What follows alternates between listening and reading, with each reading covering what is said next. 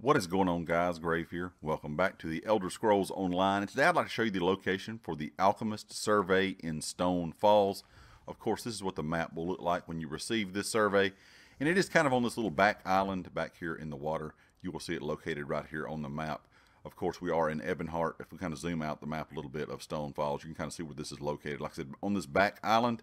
So where you're going to need to go is right here to the Ebonheart Way Shrine. Once you're to the Ebonheart Way Shrine, all you have to do is kind of ride back here off these back steps, kind of going towards the water.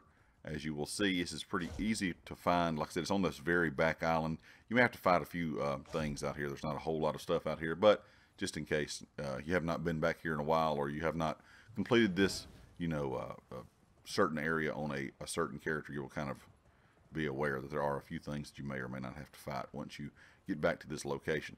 Once you're back here, like I said, you go on these little islands, all these little islands with these little houses on there. And like I said, of course, there is a few things back here that you may just want to get out of the way just so uh, you can pick this stuff up easily. Once you go past this little shrine right here, it is right behind it on the water. So this is the location, like I said, for the Alchemist Survey in Stonefalls. I hope this helped you guys out. I hope it helped you find the location. Of course, if you like the video, hit the like. If you have not subscribed yet, please do so. And I'll catch you next time.